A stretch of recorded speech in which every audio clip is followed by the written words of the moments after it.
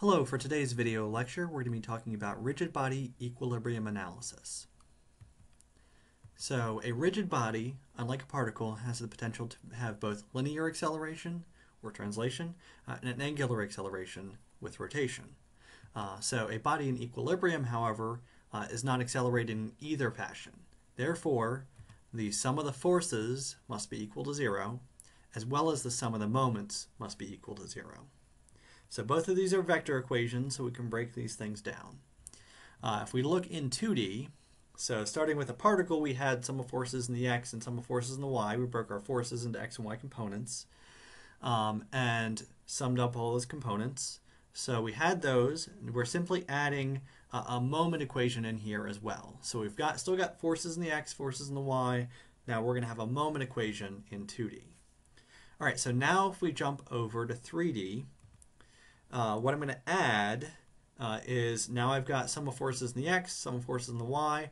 Now I'm going to have z components as well. So I've got my three dimensions.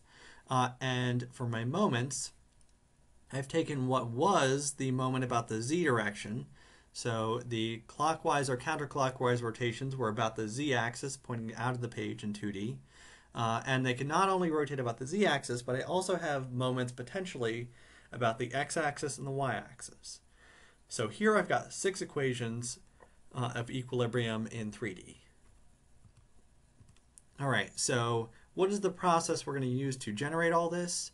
Uh, so the process for uh, solving for unknown forces, unknown directions acting on a body in equilibrium is as follows.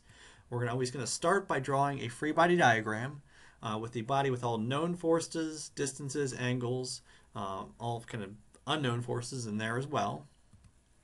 Where from there we're going to write out the equilibrium equations for the sum of forces in the x and y directions. So break all of your forces, known and unknown, into x and y components. Add up all the x components and set that equal to 0 for one equation. Add up all the y components, set that equal to 0 for the second equation.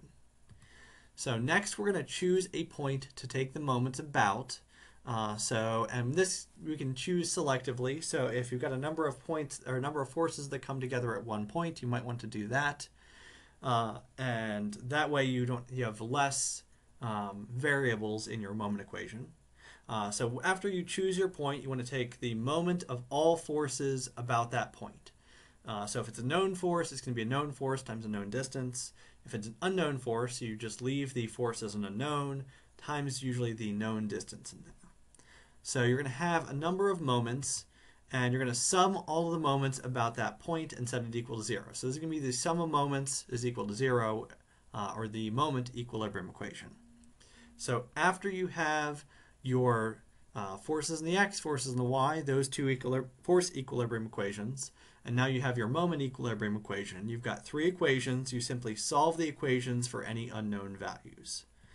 Uh, this should give you three equilibrium equations, which means you can solve for up to three unknown forces, uh, or really any three unknown values. So it could be a magnitude and direction.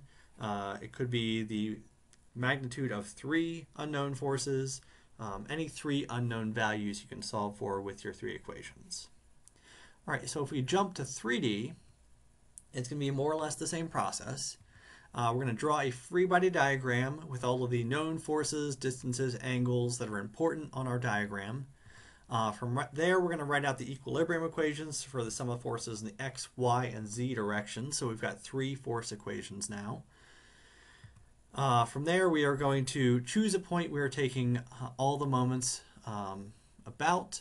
Uh, same thing, if we have a point where a number of forces come together, we might want to choose that point. Uh, and from here we can use R cross F calculations if that makes it easier. So if it's a real complex problem, you want to use R cross F, which will give you a series of moment vectors. So whatever the case is, uh, you're going to get a number of moment vectors uh, that might have some unknowns in them. So take all of the x components of those moment vectors, add those x components of the moment vectors up, set that equal to 0. Same thing with the y components of the moment vectors. And same thing with the z components of the moment vectors. Uh, so here you're more working with uh, moments that are going to be about all sorts of different axes. Uh, so you have three moment equations, moment equilibrium equations that you can work with. Once you have those values, you can solve all six equations for any unknown values. Uh, six equations with up to six unknowns is a, a, tall task, so you might want to use computer tools uh, if it's going to make your life easier. And uh, that's all there really is to it. So we've got up to six equations and six unknowns. Uh, the sum of the forces and the sum of the moments is going to be equal to zero. Make sure you draw that free body diagram, uh, and that is our process. So that's all we have for today's video lecture. Thank you for watching, and I hope to see you again.